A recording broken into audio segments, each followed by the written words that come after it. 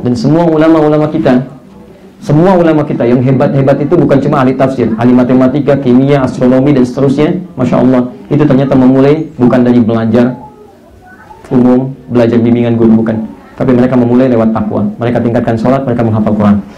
Dan kami sudah uji di Indonesia, orang yang menghafal Quran dari sejak dininya menghafal Quran itu meningkat kecerdasannya tiga kali lipat paling minimal dibanding orang biasa.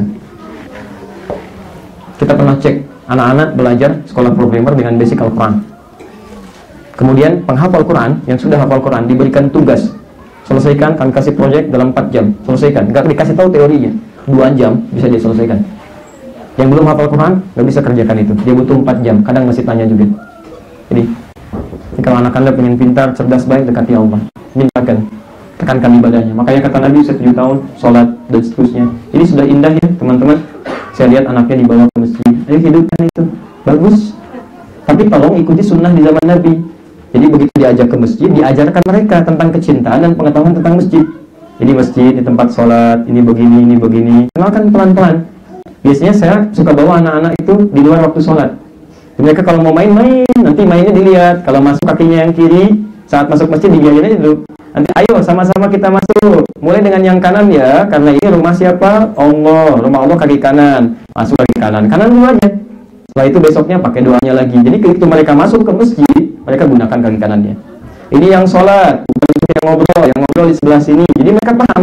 Anak-anak dua tahun tiga tahun memang main tapi mainnya tidak mengganggu kepada yang lainnya kadang naikin bapaknya juga. Zaman Nabi juga begitu. Al Hasan Al Husain ke masjid naik ke pundak Nabi tapi nggak ganggu biasa karena sudah kenal dengan lingkungan masjid. Itu bisa hidupkan di sini jadi contoh saya lihat anak-anak kita masya Allah. Saya senang sekali tadi ada yang kecil yang perempuan yang ini yang laki-laki masya Allah. Indah jangan diusir jangan suruh pergi. Begini, jangan. Udah fasilitasi berikan. Ini kan ruangan banyak banget tuh. Kenapa nggak anda simpan itu bersama anak-anak orang tua dengan anak-anak atau anak-anak kakaknya dengan adiknya? Biarin dia canda karena dia belum dituntut. Untuk sholat dengan khusyuk biarin. Dia kenal dengan masjid tapi fasilitasi untuk dia menunaikan sholat sesuai dengan dunianya. Jelas ya? Dan kenalkan Awas sebagian orang tua kadang suka salah. Memang motifnya dari rumah sudah disuruh rame. Rame aja di rumah, suruh main sama ke masjid. Main ke masjid, makanya dia main. Ini masalah.